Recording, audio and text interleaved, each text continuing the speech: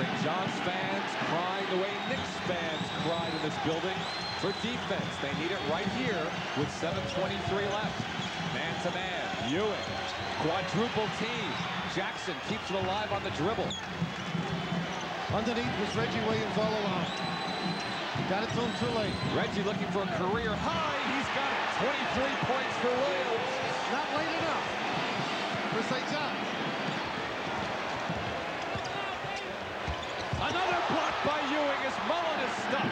Two on one. The Hoyas are flying. The foul is called against Jackson. The igniter back there. That's as much an assist as anything. Not only a block shot, keeping it alive, starting the fast break. Oh, is he sensational? John saying, that's the way I taught you four years ago. Go do some more of that, Patrick. All right.